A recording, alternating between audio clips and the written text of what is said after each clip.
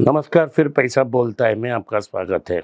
मैं एफएमसीजी के बारे में अक्सर बात करता हूँ, लेकिन मेरा एक ही है एफ़ एम स्टॉक का कंसिड्रेशन है, वो आईटीसी है।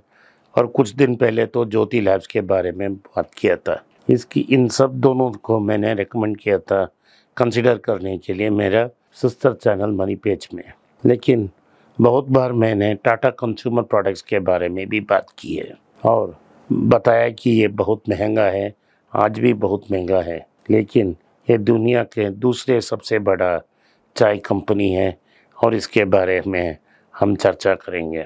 इस कंपनी का नाम आज टाटा कंज्यूमर प्रोडक्ट्स है, लेकिन इस कंपनी का पहला नाम था टाटा टी, उसके बाद टाटा ग्लोबल और आज इस कंपनी का नाम है Tata consumer products.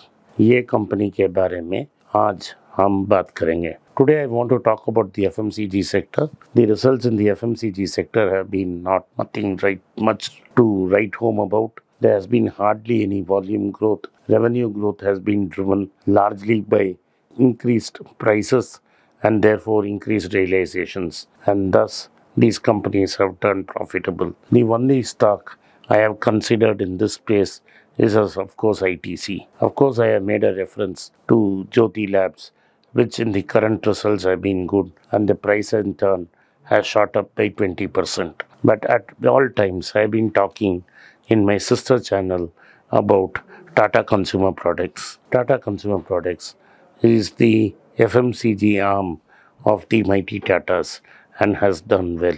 It was in the news for recently for attempting to buy Bisleri. The deal fizzled out. Tatas did not buy Bisleri and the family of Bisleri continued to run it. However, the results have come this quarter. The results are decent and therefore I wanted to look at it. The Tata Consumer Products net profit has risen by 22% to 337 quarters. Revenue has gone up by 12.7%.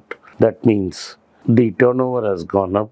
You know, the volumes have, have gone up so much and the net profits have gone up because of lower input costs. Tata Consumer has reported, as I said, a profit year on year. Revenue for Q1 of this quarter went up to 3,741.2 crores compared to a revenue of 3,326.8 crores in previous Q1 of FY23. Lower costs meant that EBITDA went up to 547 crores. The growth was driven where across business the growth has been strong. The global business, the Tetley business, is gone very strong. The Indian business has gone strong, and the non-branded business also has done well. In India, the Tata Consumer Products barely managed to grow 2 and 3 percent. That is 2 percent in volume, but revenue growths have been decent, especially in packaged beverages segment. This is basically tea. Both tea brands, Tata Tea Premium and Tata Tea Agni, recorded strong growth. Tata Consumers International Business revenue grew by 7% with all three brands, Tetley, Good Earth and Trappings and Teapigs gaining value and market share. Tata Starbucks has seen a robust revenue growth of 21%. Why is Starbucks coming here? Is this is primarily because Starbucks India is a venture of joint venture of between Starbucks globally and Tata Global. What was then Tata Global and now Tata Consumers. This has been rapidly expanding and its turnover has also gone up by it saw a robust revenue growth. So Tata Starbucks has in turn grown up grown its revenue by 21%.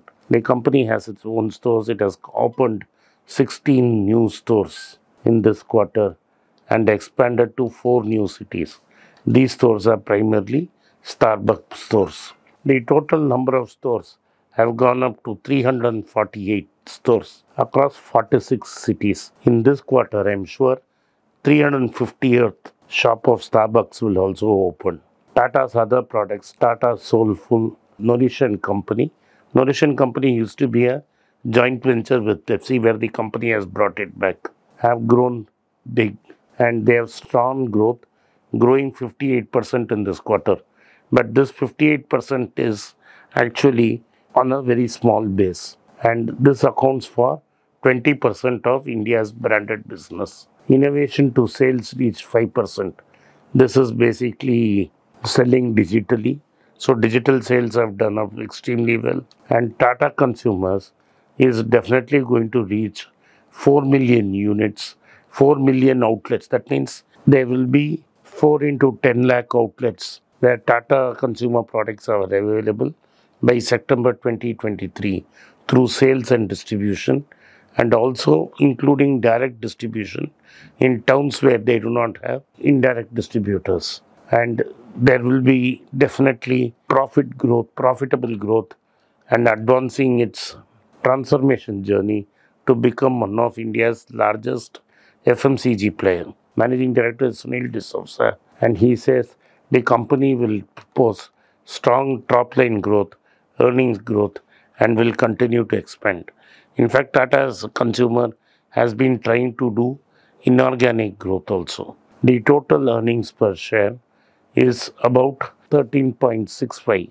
That is, what has happened is we have removed the Q1 of last year and therefore you have Q2, Q3, Q4 and then Q1. So the rate becomes 13.65 and uh, if you divide the current market price which is around 850 you get a P by E ratio of 62.5. A growth rate of 20% in profits does not justify a 62.5 times P by E. The book value is 175 that means it's nearly five times book. This stock is frightfully expensive and it makes eminent sense to buy ITC instead of buying the stock. And this is exactly why I don't touch any FMCG stocks at current prices. And this company also has Himalayan waters and is also explain, trying to expand into other mineral waters.